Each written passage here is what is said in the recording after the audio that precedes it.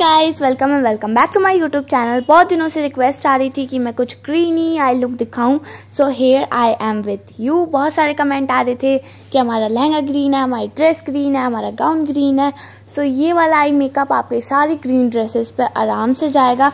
अगर आपका light green है या डार्क ग्रीन है तो थोड़ा बहुत चेंज कर लेना आई में।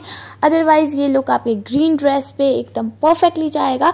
सो गाइस स्टार्ट करते हैं मेकअप सबसे पहले मैं यूज़ कर रही हूँ मॉइस्चराइज़र क्लिनजिंग एंड टोनिंग मैंने कर लिया था। अब मैं मॉइस्चराइज़र के लिए यूज़ कर रही हूँ जॉब्स का मॉइस्चराइज़र उसके बाद मैंने यूज़ करा था स्विस ब्यूटी का प्राइमर यूज़ करा था नहीं यूज़ कर रही हूँ। स्विस ब्यूटी का primer one of my favourite primer अब स्टार्ट करते हैं आई मेकअप तो सबसे पहले आई मेकअप ही करती हूँ मैं। एंड मैंने अपनी आई शेडो पैलेट खोल ली जैकलीन की। एंड लुक गाइज़ मेरी सारी आई शेडो पैलेट का कलर टूट गया। इसका ब्लैक कलर बिल्कुल ख़त्म हो गया एंड जो टर्मरिक शेड में यूज़ करती हूँ वो भी बिल्कुल ख़त्म सा ही हो गया ये मान लो। सो so, अब स्टार्ट करते हैं अपना आई मेकअप सबसे पहले यूज़ कर रही हूँ मैं ब्राउन शेड अपनी आईब्रोज को फिल करने के लिए एंगल ब्रश की हेल्प से। आप चाहे तो ब्राउ पोमेट या आईब्रो फिलर जो भी चाहे आप यूज़ कर सकते हो। मुझे ब्राउन मतलब कलर पसंद है अपनी आईब्रोज को फिल करने के लिए। मैं ब्राउन कलर का आईब्रो फिलर यूज़ करती हूँ। एंगल ब्रश की हेल्प से फिल कर लिया था। उसके बाद अब मैं यूज़ कर रही हूँ कंसीलर कंसीलर यूज़ कर रही हूँ मैं मिस रोज़ की कंसीलर पैलेट में से।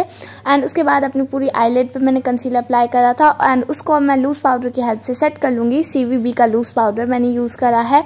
एंड उसके बाद यूज़ कर रही हूँ मैं यहाँ पे yellow turmeric shade Sam Gems की पैलेट में से। एंड इसको मैं अपनी क्रीज एंड आउटर वी में अच्छे से अप्लाई करके ब्लेंड कर लूँगी। एंड जैकलिन की पैलेट मैंने यूज़ करी थी सॉरी हाँ मैंने जेम्स की पैलेट बोल दिया। सो so, हाँ अच्छे से करने के बाद उसमें से ही अब मैं सेम पैलेट में से ब्राउन शेड यूज़ कर रही हूँ। एंड उसको अपनी क्रीज में मैं अच्छे से अप्लाई कर रही हूँ एंड ब्लेंड कर रही हूँ। एंड उसके बाद मैं यूज़ कर रही हूँ एक ब्राउन शेड एंड उस उससे मतलब एक छोटू सा ब्रश है ये ब्लेंडिंग सा।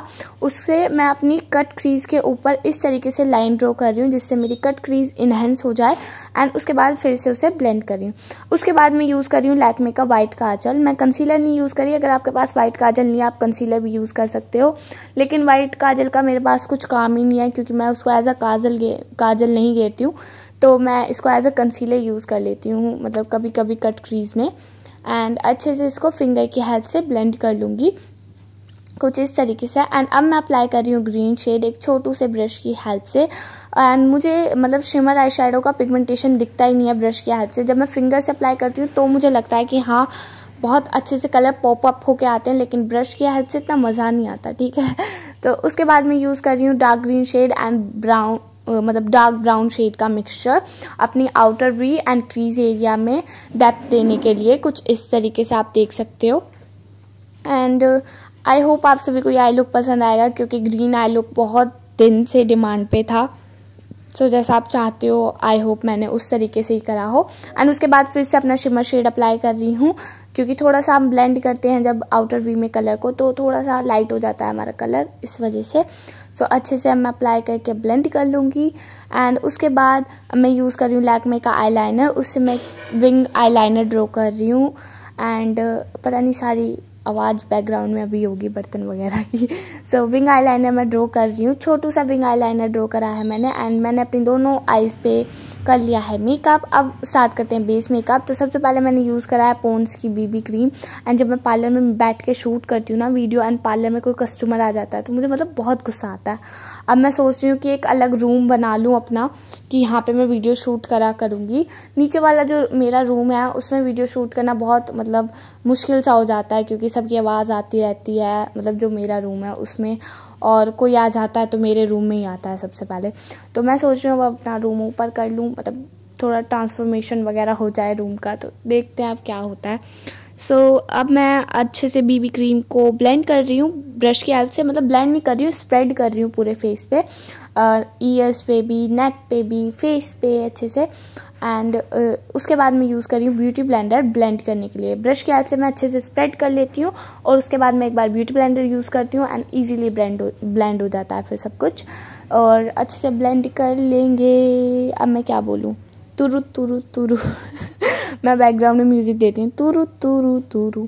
उसके बाद यूज़ कर रही हूँ मैं मिस रोज़ की कंसीलर पैलेट जिसे मैं अपने टी जोन में अप्लाई करने वाली हूँ। आपके जहाँ भी अगर पिंक पल वगैरह या डार्क स्पॉट है वहाँ पर भी आप अप्लाई कर सकते हो।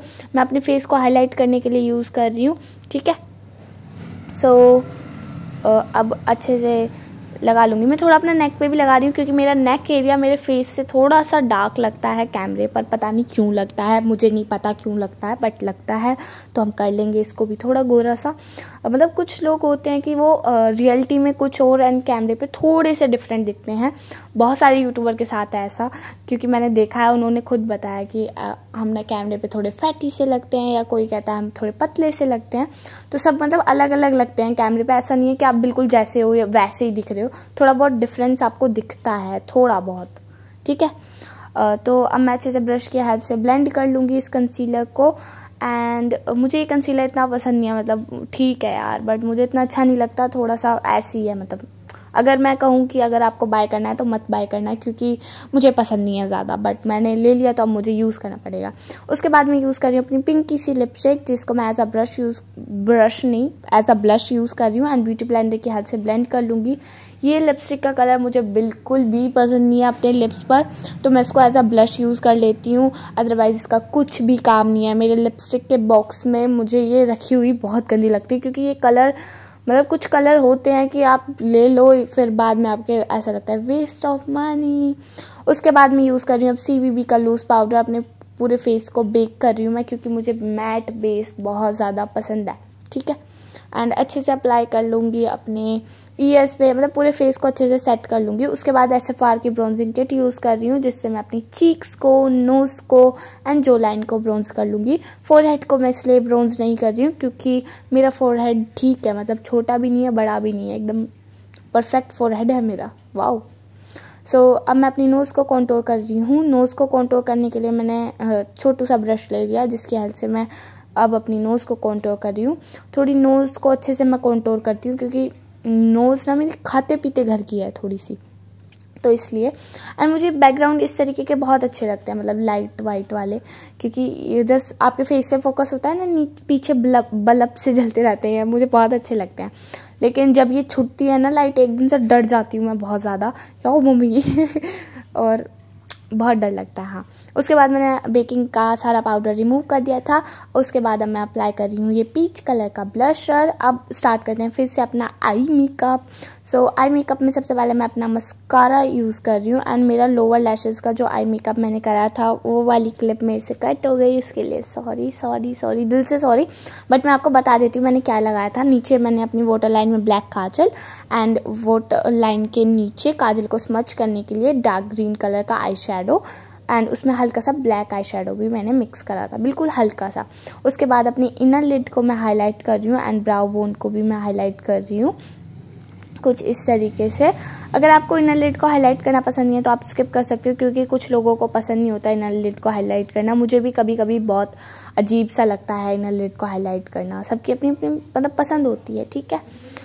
एंड उसके बाद यहाँ पे मेरा डांस निकल रहा है क्योंकि मैंने ब्लूटूथ पे सॉन्ग चला रखे थे दैट्स वाई उसके बाद मैंने ब्लू हेवन का लिप बाम लगाया एंड टिश्यू पेपर के हेल्प से सारा साफ़ कर दिया, जिससे कि जो भी हमारे लिप्स पे फाउंडेशन कंसीलर लगा है वो रिमूव हो जाए. एंड फिर से लिप बाम लगा लिया एंड थोड़ा आसपास अराउंड माउथ मैंने ब्लेंड कर लिया क्योंकि थोड़ा बहुत छुट उठ गया वो इधर उधर से तो वो अजीब सा ना लगे। उसके बाद यूज़ कर रही हूँ मैं आइकॉनिक लंदन का इल्यूमिनेटर जिसे मैंने बहुत दिनों से यूज़ नहीं करा था। तो मैंने सोचा, चलो आज इसको यूज़ कर लेते हैं। मैं इसको एज आ हाईलाइटर यूज़ कर रही हूँ। अगर आपका इल्यूमिनेटर है तो आप उसको as a highlighter easily use कर सकते हो। अच्छे से वर्क करता है एंड बहुत देर तक स्टे भी करता है। और इसको मैं अच्छे से अप्लाई कर लूँगी अपने पूरे टी जोन पर। टी जोन पर। उसके बाद यूज़ कर रही हूँ किस ब्यूटी का यहाँ पे मेकअप फिक्स है ट्वेंटी फोर के गोल्ड कैरेट वाला। And guys this is my final look I hope you guys enjoy this video and मेरी लिपस्टिक की क्लिप कट हो चुकी so guys this is my final look thank you for watching